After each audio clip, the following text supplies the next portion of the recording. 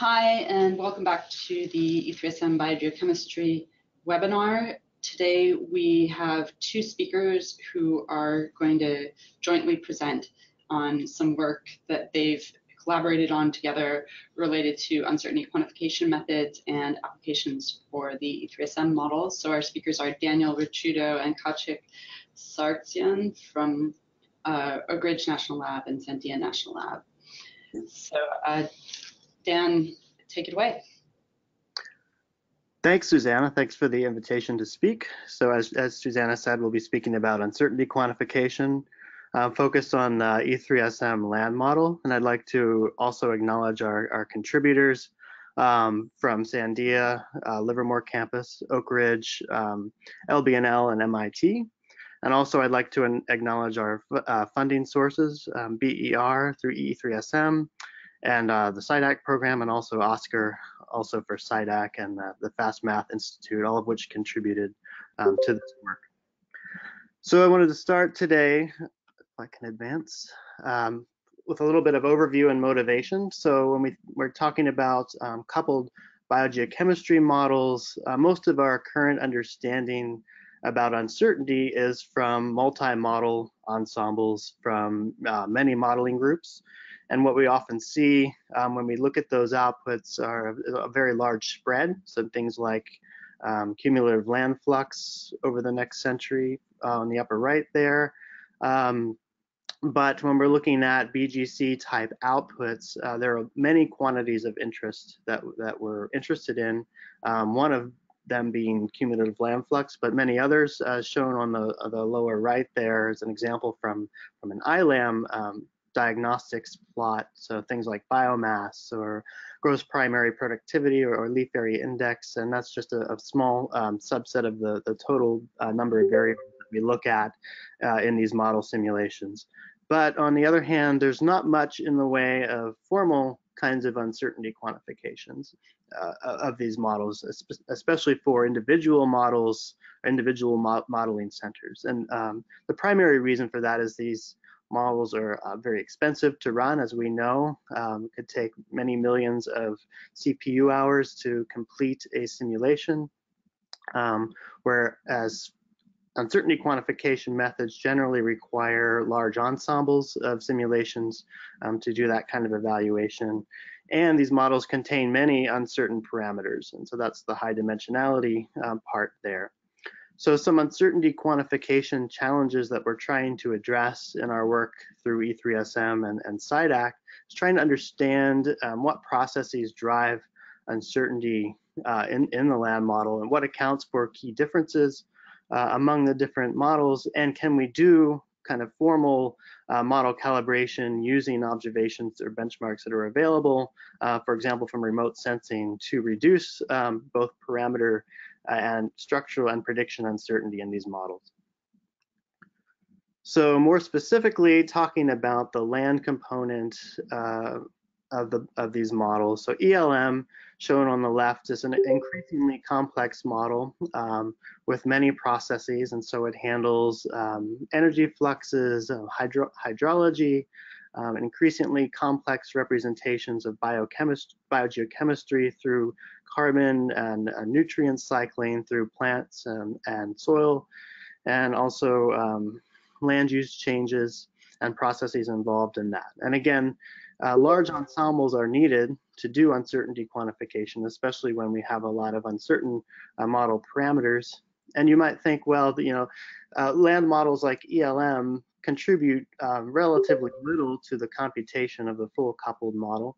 Um, and so why can't we just go ahead and do those big ensembles? But when we're talking about um, biogeochemistry and we're perturbing parameters and that requires us to do lots of model spin-ups as well, which involve hundreds of years generally of um, model simulation. And so that definitely limits the size of the ensembles we can run um, globally. So one thing we'll talk about in a lot more detail is surrogate modeling. Um, so the surrogate model basically is a, a, representation of the more complex model. There are a number of different ways to produce those, and they can increase the efficiency of UQ methods such as sensitivity analysis and calibration. So our SciDAC project is, is called um, Optimization of Sensor Networks for Improving Climate Model Predictions, um, given the acronym of AWESOME, OSCM. And so the one of the key goals of that project is to um, formalize MODEX. So MODEX is a key uh, DOE initiative for iterative feedback between models, uh, experiments, and observations. And so that's it's not really a new thing. And so you could think of um, this has been been done for many years in terms of model improvement. You can start there on the left and say we have a new data set, our data that's been collected. We want to test that out uh, in the model and see how well the model performs. We may evaluate that and find some shortcomings, um, do some model development and new simulations, and that can help us um, determine where new observations might be uh, necessary, uh, new data sets. We go out and collect that new data and start that, that loop over again. And so this is an attempt to, to formalize that process through uncertainty quantification algorithms. And we, we want to characterize the uncertainties in the models and then use those models to try to tell us where and when we can place new observations to optimally reduce those model prediction uncertainties and apply that specifically for the E3SM land model or ELM through existing and proposed new um, networks. And so the, again, the key question there is what is the ideal placement of observation systems, in this case virtually in the model, um, to represent spatial and temporal variability in our signals of interest. And so I'll talk a little bit here about the infrastructure we've developed um, to enable uncertainty quantification. And so what you'll hear about um, from Khachik involves studies from uh, E3SM or ELM single grid cell studies um, where we've run the V1 model at a number of different uh, flux or FluxNet or eddy covariance sites globally. And we've also done a little bit of work with um, the ELM FATES uh, model with uh, with Jennifer Holm and a, and a Boreal Alaskan site. Um, and for those sort of single grid cell frameworks, we've developed uh, um, a test bed using basically uh, ensembles, large ensembles of single column uh, ELM runs using MPI for Python to manage that as um, part of a testbed we've developed called the offline land model testbed to manage these ensembles and also do the post-processing. Um, so to look more at questions of um, regional uncertainty quantification, we developed a simplified version of ELM that only considers um, the carbon cycle, so it doesn't do the, the full energy balance uh, or the hydrology.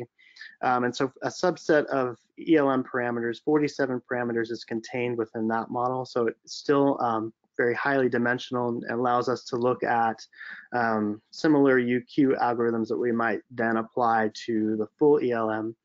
And it uses um, a submodel for photosynthesis or uh, the canopy flux portion of the code is one of the most um, time consuming. And so for that, um, we have a couple of different um, representations of that. Uh, more recently, we've begun using a neural network fit to the ELM photosynthesis module, which uh, reproduces the accuracy of um, ELM's prediction of photosynthesis or GPP uh, pretty pretty accurately, and it's much faster than uh, ELM, and so it's it's highly useful for us to do tests of um, regional to global scale UQ algorithms. And so now I'll hand it over to Khachik. I'll talk a little bit about uh, some more detail about surrogate modeling. Uh, hi. Uh, so the very first sort of vanilla and benign application of uncertainty quantification would be the uncertainty propagation, where we have ranges of unknown physical input parameters given by a modeler. Uh, and then uh, the goal is to uh, propagate those uncertain input parameters to output predictions with uncertainty. This is a basic task of forward prediction, uh, which kind of comes along with building surrogate and uh, pro and performing proper sensitivity analysis and looking into uh, parameter uncertainty attribution. And I'll detail uh, all these pieces as, as I go along. Um, uh, first of all, uh, this uh, methodology, as Dan mentioned, works with the model as a black box, non-intrusive. So all you need is an ensemble of simulations with varying or perturbing input parameters lambda. And uh, the uh, main advice here is that never analyze the ensemble directly. Usually, uh, it makes sense to build some kind of surrogate approximation to your model first, and then uh, uh, analyze the surrogate itself uh, through various means. and the surrogate in various communities is called differently proxy, meta model, response surface, or supervised machine learning, if you wish. Um, next slide, Dan. So global sensitivity analysis uh, uh, comes off the surrogate usually uh, either through Monte Carlo or with some some types of surrogate we can get this information basically for free out of the surrogate construction. It enables selecting important parameters or rather uh, removing parameters that are not important. And by saying not important, I don't mean the parameters shouldn't be in the model. I mean the parameters should not be necessarily varied over the range that was provided initially because uh, that range does not contribute to output uncertainty uh, that much. So that dimensionality reduction is usually uh, uh very uh, uh, you, it, it's an important step towards the process, and we do want to remove parameters that are not very important in terms of uncertainty. So this color bar is kind of an, a, a visual sketch of what we get uh, out of global sensitivity analysis. It's a, a predictive variance of a given QOI uh, attributed to different parameters uh, of the model. Um, what what it means it uh, it means if I had to fix one of those parameters, uh, how much the overall output variance of the prediction will reduce. So that's sort of the interpretation, um, and uh, we can get to uh, GSA information for a range of outputs and then uh, figure out if a parameter does not impact any of those in a considerable way, we can drop it from the sort of next cycle of surrogate construction. Also, this generalizes to joint sensitivities, joint parameter impact to a given quantity of interest. Uh, the uh, visual on the lower right corner is uh, demonstrating that basically one uh, the radius of a, of a circle is how important the parameter is uh, in terms of GSA, and the width of the edge joining two parameters is how important their joint impact is to a given uh, quantity of interest. So those are some results from uh, prior work that we have done with Dan on uh, ALM. next slide, Dan. And uh, to uh, uh, emphasize a bit more this uh, this work, uh, this is a paper uh, from a year or so ago with Dan Ricciuto. what we have done is we looked at FluxNet sites. Um, well, no, we, we, we, looked at several FluxNet sites that have that have varying PFT plant functional types and uh, perform this uh, automated uh, sensitivity analysis of varying 68 model parameters. That's a huge challenge in terms of surrogate construction because 68 is considered a large number when you want to build an approximate model. Uh, however, uh, uh, we have advanced methodologies with sparse, sparse surrogate construction that allows us to build meaningful and relatively accurate surrogate across all these sites. And what we see, these uh, uh, bars, they show sensitivity or variance contributions at each of the sites. These are 96 sites, 96 bars basically. Uh, what we see is that within PFT, there is relatively uh, consistent uh, variance contribution distribution uh, from the parameters compared to across PFTs. And at the end of the day, out of 60 eight parameters, uh, we can select about a dozen of them that are uh, highly important uh, across all the sites. And for future studies like calibration, which we'll get to, uh, we do need a more accurate surrogate so we can focus on this lower dimensional 12 parameter perturbing analysis rather than whole 68 parameter perturbation. Uh, so this performs two tasks. That does GSA, uh, builds a surrogate and allows us uh, to remove uh, non-important parameters from future studies. Um, the paper is published and the link is there uh, given on the slide. So maybe I'll, I'll, go to the next slide then.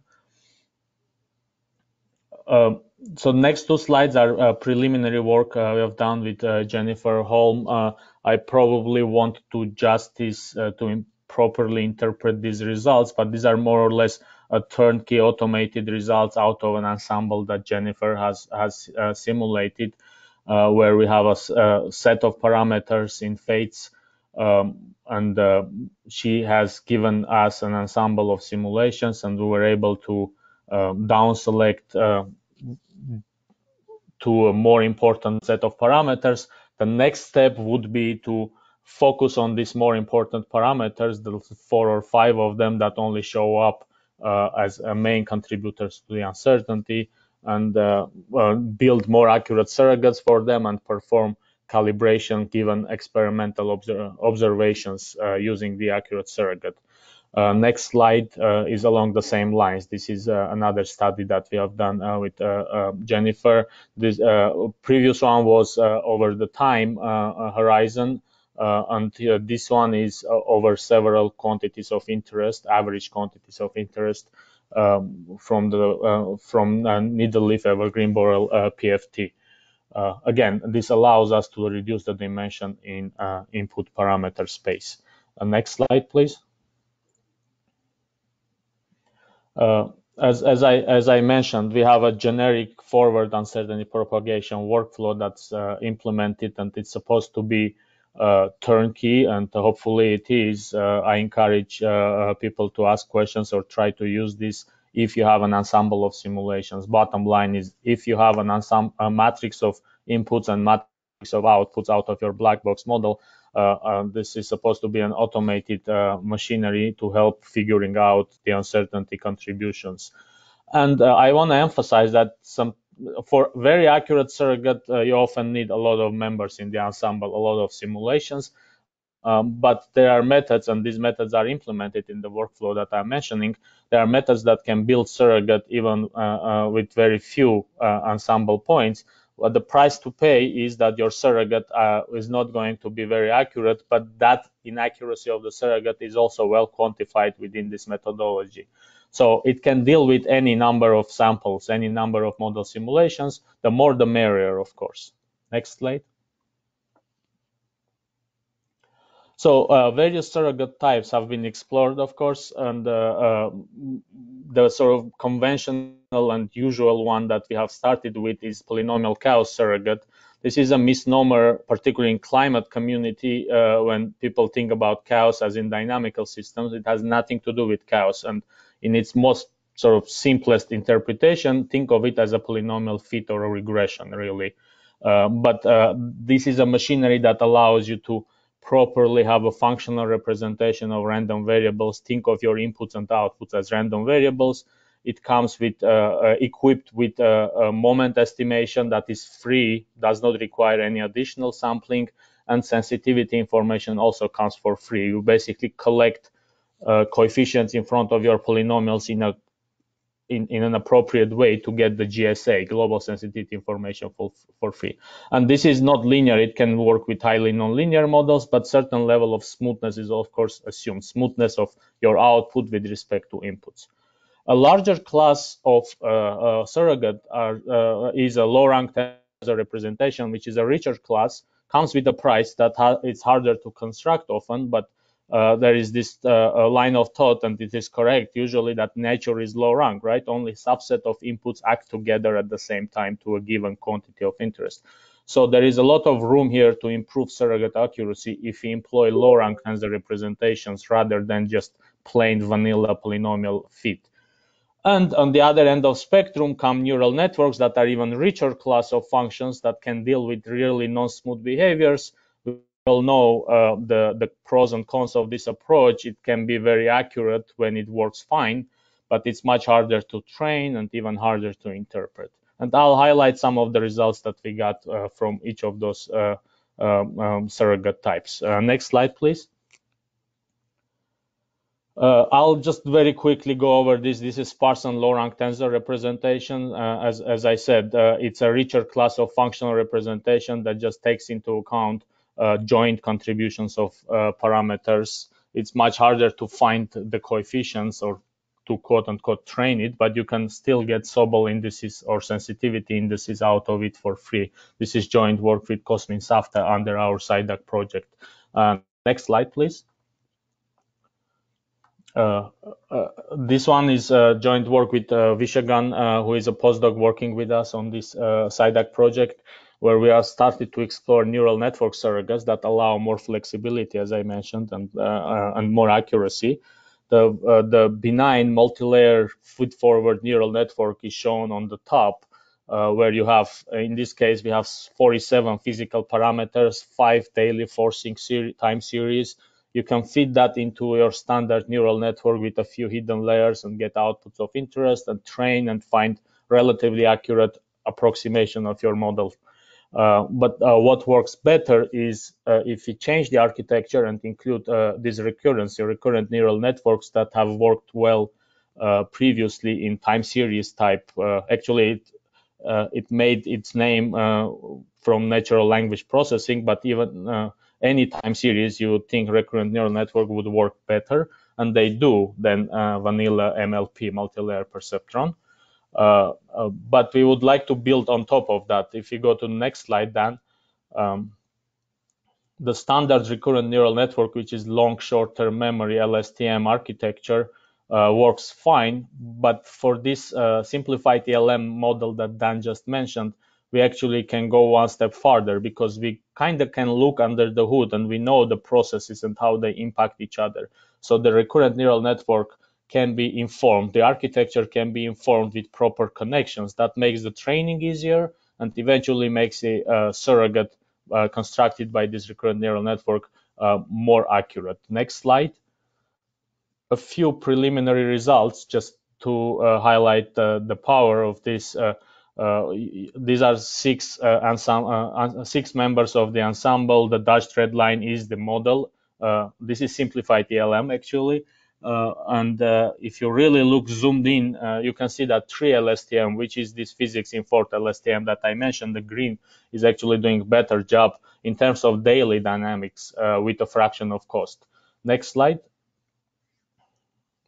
This is demonstration of the same type of result in a different way where we put it uh, uh, this is gpp from uh, model itself and the surrogate for two different months across i think 30 years of study this highlights a little bit better that physics informed architecture the green dots the 3lstm actually works much better than the other two options next slide please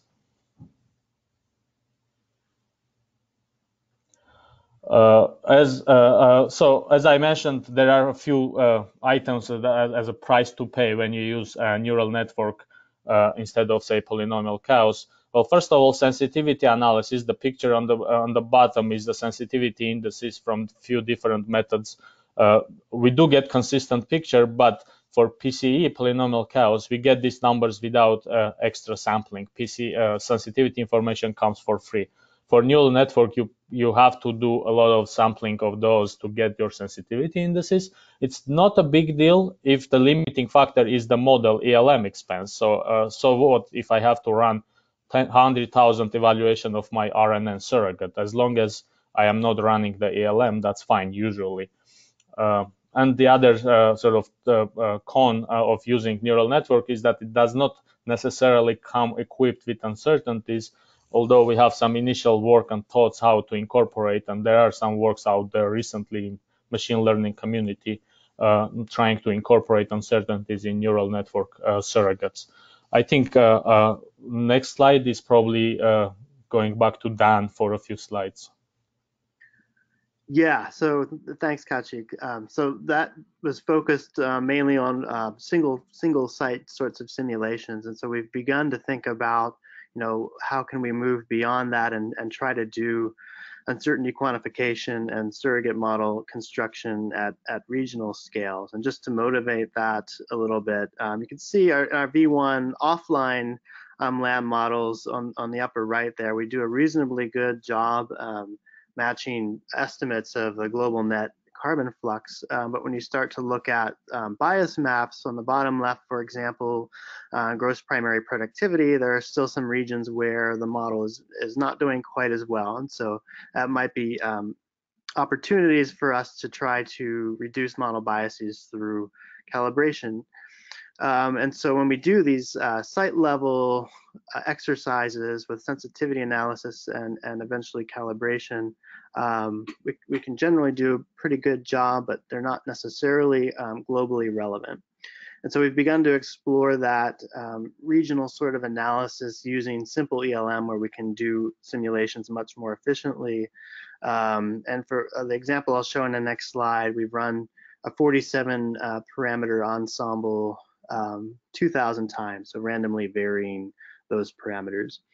Uh, and so here's an example of how we can construct surrogates with spatially and temporally varying outputs for an example domain there on the upper left covering um, the northeastern portion of, of, the United States and a little bit of Canada there. And so for this example, um, we've taken the half degree grid, uh, cut out that region and looked at 30 years of output. And so um, if we're thinking about trying to construct a surrogate model for that, we actually have 42,000, more than 42,000 um, GPP outputs. And so that's approximately uh, 1,600 grid cells times 30 years of output. And so traditionally, traditional methods of building surrogates for those kind of one at a time for all of those is, is very cumbersome.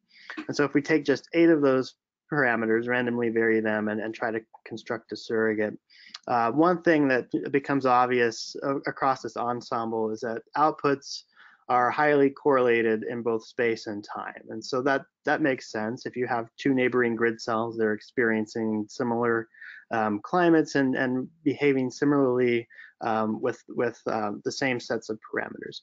And so Dan Lu here at Oak Ridge has developed an approach where she can apply singular value decomposition to reduce the dimensionality of those outputs. And so taking those 42,000 outputs, um, it can be reduced down to about five uh, singular values, but still maintaining, uh, able to capture most of the uh, variance in the uh, in the original data set.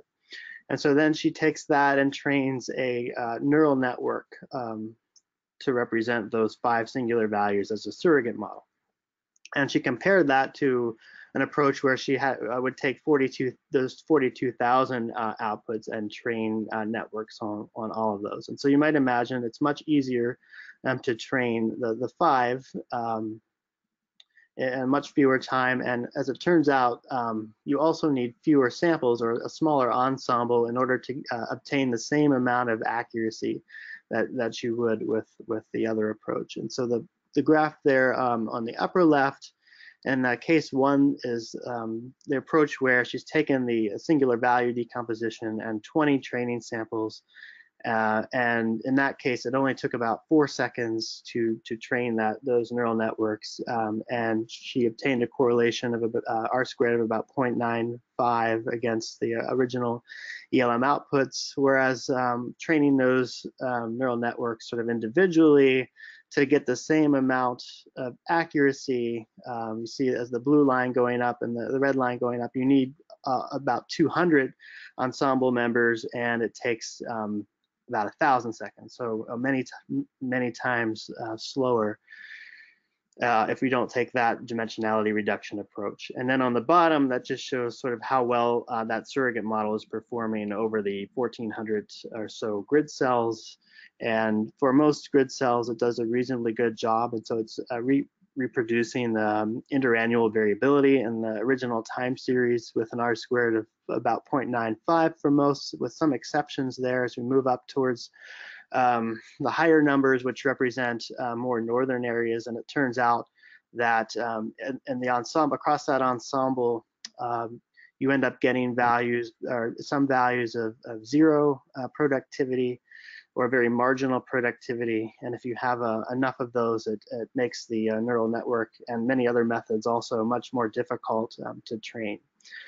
Um, to train those neural networks, she's also developed a method where we can optimize the hyperparameters um, that are used to construct the, the neural network, and that, that's quite important in, in getting that level of accuracy. But it was quite encouraging to us that um, you can do this good of a job with, with only 20 training samples um, because that would open up, you know, we could we could start looking at more complex model structures, um, not just simple ELM, but it may be possible to run, you know, 20 global simulations um, if we can get that same amount of, of surrogate accuracy. So now I'll hand it back to Khachik to talk about inverse modeling and, and calibration. Thanks, Dan. Uh, so uh, a slight switch of gears now when inverse modeling kicks in. If you look at the top part of the picture that uh, uh, you have already seen, this is how to propagate input uncertainties.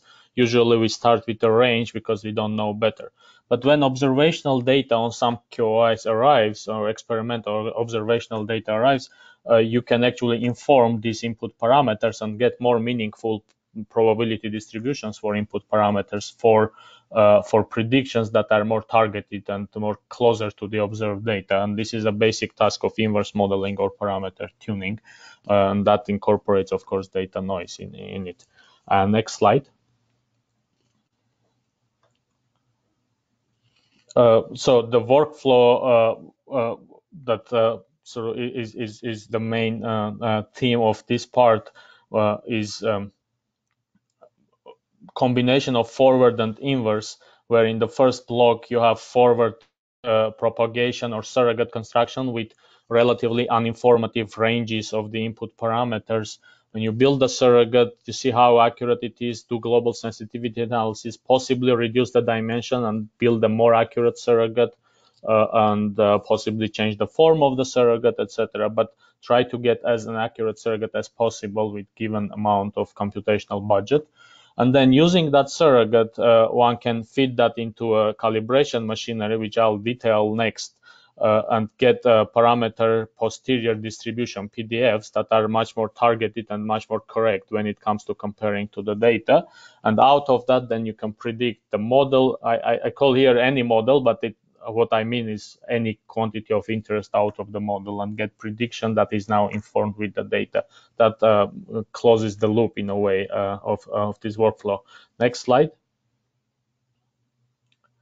Uh, so the main approach that we take uh, in calibrating uh, uh, model parameters given observational data is Bayesian approach, which is very flexible and allows incorporating various sources of, sources of uncertainty in a formal and robust way. Uh, typically, Markov chain Monte Carlo sampling is performed for building posterior PDFs of these input parameters. Uh, but because these are usually high dimensional PDFs uh, and usually also they look uh, relatively ugly, uh, that they challenge MCMC methods, we do employ several uh, uh, advanced ad adaptive MCMC methods to enable this. But more than anything, MCMC would have required online evaluation of the model. That definitely we cannot afford. This is why surrogates are handy. So we replace the model with the surrogate that is cheap to evaluate and easy to plug into the MCMC uh, engine. Um, at the end of the day, what we get, we get predictive uncertainty out of your model that is augmented now with surrogate error and observational noise. This is observational noise, not a plain noise, but it rather its impact to the predictive variance of the QOI that you are interested in. Okay, next slide. However, the elephant in the room here is in this prediction variance decomposition is the model error. So the conventional vanilla implementation of Bayesian calibration or model tuning assumes that your model is correct. Model is true uh, model behind the data, which is never the case. Uh, the model structural error or model error, as I call it, is the discrepancy from your model to the truth, and uh, that's uh, uh, that's something that needs to be handled, and that's uh, one key advance that I want to talk about the rest of the slides in in my part of the talk. We do want to add model error component to predictive variance decomposition. Uh, next slide, please. Uh, it is, as I said, crucial and often the dominant component of predictive uncertainty. And if you ignore it, I'll spare technical details, but if you ignore it, uh, you get biased estimates of model input parameters. And as a uh, consequence of it, you get biased predictions and also overconfident predictions because of the fact that you ignored model error uh, during the calibration process. Uh, again, the goal is to have a prediction variance that includes the model error component. And representing and estimating model error is going to be very useful for computational predictions for the re rest of the pipeline, like, like optimal experimental design or decision making. And uh, it helps answer questions that I often get from domain scientists, like is it worth resolving details or just parameterize empirically certain parts of the model, or optimal resource allocation, like do I improve my model, go high resolution, or run more simulations with a given computational budget that uh, we have handy? So uh, estimating model error will help us actually uh, to get to some of those answers down the road. Uh, next slide. Uh, the conventional way of dealing with model error is model correction that comes from statistical literature, where you add certain stochastic process like Gaussian process to your model uh, that is correlated. Uh, it works fine in many cases, but for physical models, it has a lot of drawbacks that we actually do not like. For example, you can correct your model to fit the data uh, on I don't know temperature, but if you want to predict another quantity of interest, leaf area index, you cannot really use this unphysical stochastic term that you correct the temperature with uh, to predict uh, um, uh, another QOI, uh, like say leaf area index. Uh, so what we do, we try to embed stochastic term in the model um, to enable physics constraints as well as to enable prediction of a set of quantities of interest out of the model.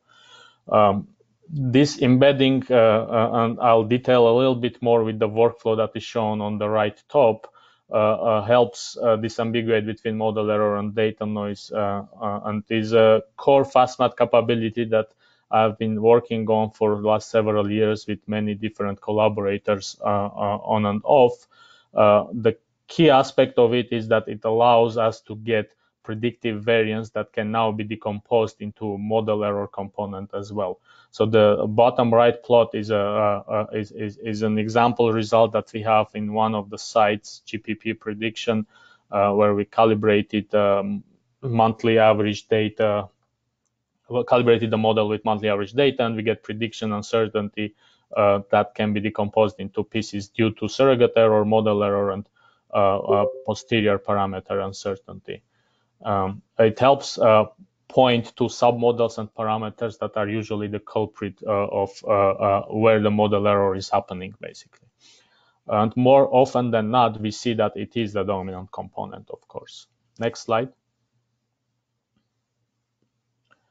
Uh, another a bit more academic example, just to highlight what uh, this procedure actually does. Uh, here, calibration of um, monthly data of latent heat flux, uh, uh calibration of ALM using monthly data on latent heat flux. Uh, as I said, uh, academic exercise, I have uh, enabled uh, enough data and the noise structure to have parameter or posterior uncertainty, in this case, be driven down to essentially negligible. You can see that the peaks are, summer peaks are not, not captured well in the prediction. go to the next slide, Dan when we incorporate model error in the prediction, summer peaks are all of a sudden uh, uh, uh, um, captured. So the model actually correctly recognizes that summer peaks are captured. Some of the low values are not captured well, and that that is understood because the procedure uh, highlights what it can do, but also shows what it cannot do. Uh, because the methodology is non-intrusive, working with surrogates, we are married with the same structure of the of the of the uh, of the model. Uh, it shows that with a given structure, we cannot actually capture the lower values well, but we do uh, uh capture the higher values. And it also, in a sort of semi-automated way, highlights the parameters that are the culprit that are necessary to tweak in order to capture the summer peaks better.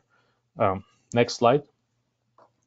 And what this also allows, this embedding model error, unlike the conventional external correction, what this also allows is prediction of unobservable quantities like net primary productivity when there is no data with it. So we can predict now with model error augmented in the prediction. Uh, with external correction to the data on latent heat flux, we wouldn't be able to uh, uh, extrapolate quote unquote those predictions to NPP. With embedded correction, we are able to do this extrapolation in a somewhat meaningful way. And uh, uh, next slide, please. Uh, a different type of extrapolation is when you calibrate in one site and U of Michigan site that you saw in previous uh, plot and try to predict uh, uh, quantity of interest in another site. Assumption is that model goes wrong in a similar way across two sites, right? Uh, and uh, again, embedding model structural error inside the model allows you to do this in a meaningful and consistent way. Um, next slide, please. Just to summarize uh, and highlight, this workflow uh, has been augmented with the extra step where we do stochastic embedding inside the model. However, this is not really looking under the hood of the code and writing different things in the code. This is embedding done in the surrogate. So your model is still uh, dealt with as a black box. So I want to highlight this. This is embedded structural error approach but it's still non-intrusive and allows a meaningful exploration of your model predictive uncertainties. And at the end of the day, what you get is predictive variance that can be decomposed into several pieces, and then modeler can decide what to blame and what to target and what to improve in terms of predictive uncertainty. Uh, next slide, I think I am handing this back to Dan. Thanks. Yeah. So um, I'll talk a little bit now about trying to, I guess, close the Modex loop through optimal, optimal experimental design. And so we can take what we've learned from these UQ uh, calibration exercises um, and inform new potential new observation locations. And so this is uh, a very simple example um, given the uncertainty. And so going back to that regional uh, simple ELM ensemble, uh, given the uncertainty of GPP from that ensemble, where could we put new observations to optimally reduce that posterior uncertainty? Um, and so the example here on the right, we can see um, in red a hypothetical region of interest focused over the southeast United States, so about a quarter of the, the original domain there, about 430 grid cells um, our quantity of interest is the aggregated uh, gross primary productivity in that region. And so we're asking this framework where if we had um, had funds available to observe this quantity at uh, several grid cells, where can we put those, uh, which grid cells would we put those observations in? And those are not necessarily restricted to that red area, even though we're trying to predict it. Um, it could go anywhere also in the dark blue area. And so to do that here, uh, specifically, um, we're looking at five new sites. So where could we put five uh, potential flux towers or other, other methods that might uh, observe GPP for observations to reduce that uncertainty?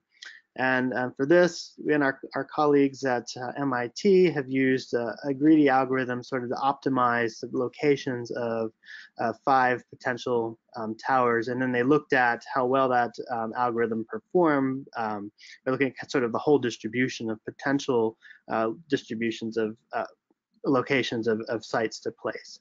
And so as it turns out, so the, the identified locations there in red on the left and sort of the red, uh, small red bar there on the right shows that they, they have indeed picked the, um, the best uh, set of points to optimally reduce the uncertainty.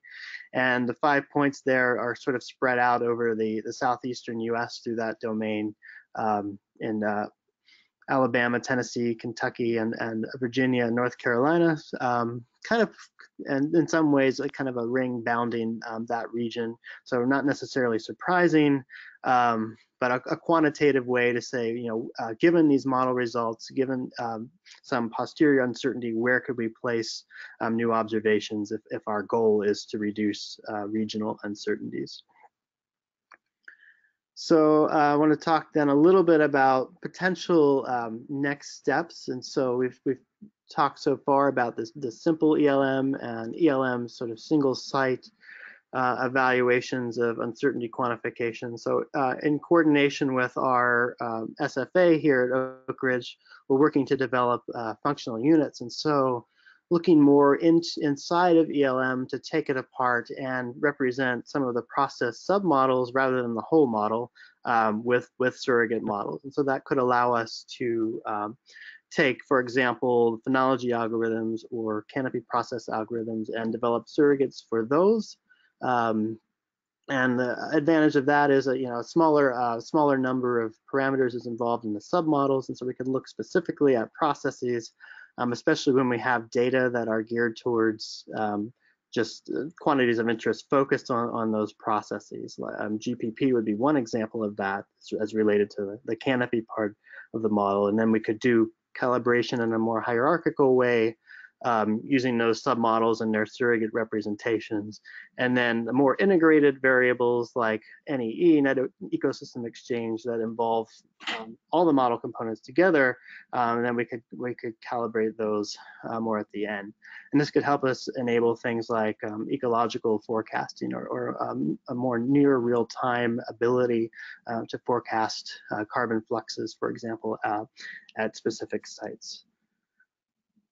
Um, so also we're thinking about, you know, how do we, how would you do UQ in the coupled system? Of course, the model is very expensive um, and uh, we can do reasonably well um, in a, an individual component.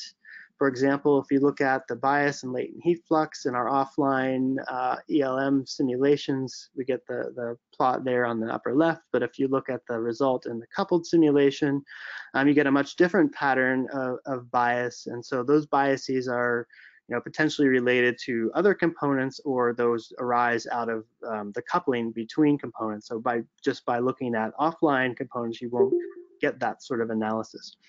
Um, there's a large computational demand for for individual experiments, including spin-ups, so that really limits um, what we can do there. Um, but hopefully, um, some of the things that we're working on, especially with uh, machine learning, can help us lead to potentially more meaningful UQ in a coupled system. So the the promising result where um, we can use dimension reduction methods to reduce the number of uh, ensemble members required um, might help us there.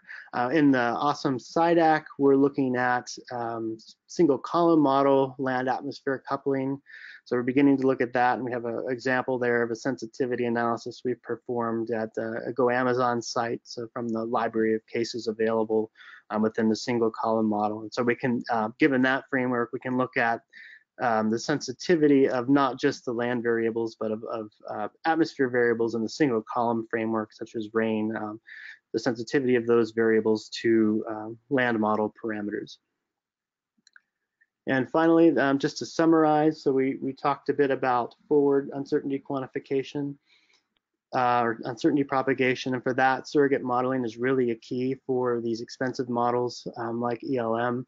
So for single uh, site or column simulations, we do have, I think, a pretty well developed workflow um, we've shown some examples of that, and we're definitely willing to work with with core NGD or, or ecosystem projects that that might be interested in performing these kinds of uh, UQ studies. And there are several options for producing those surrogate models, um, from polynomial chaos, um, low rank tensors, and and um, neural networks as well um, different varieties, varieties of those. Um, we're looking into more advanced um, space or time surrogate modeling tools available. We don't have those very well standardized yet, but we're hoping to produce more of that uh, in, in, the future. And with a combination of approaches, we can achieve pretty high uh, surrogate accuracy in a lot of cases with a reasonable, uh, computationally reasonable number of, of simulations. And the sensitivity analysis exercises that we've done have, have really helped us, I think, learn um, what processes and parameters are, are dominating um, specific quantities of interest. And it's it's not always straightforward as to, to why until you get down into the, um, the mechanisms of the model to try to understand that a little better. And then working towards inverse UQ, um, Bayesian model calibration. So we typically will use uh, the MCMC Markov chain Monte Carlo technique uh, in conjunction with a surrogate model. And for that, you know, it does have a higher demand for accuracy in the surrogate to get a good uh, calibration result, but those um, are, are feasible now. And Khachik mentioned that we're we're able to to try to incorporate uh, model structural error in those predictions, um, both in the posteriors of the, the parameters and the predictions there. And finally, we're um, trying to enable um, formalization of the MODEX loop by uh, taking those, what we've learned from sensitivity analysis and calibration and using that to, to try to determine where and when um, we might place new observations to optimally locate uh, new observations that reduce uh, model uncertainty. And that's all we have. Okay, great. Thanks a lot. Um, I'm going to end the recording now and then we can have a discussion offline.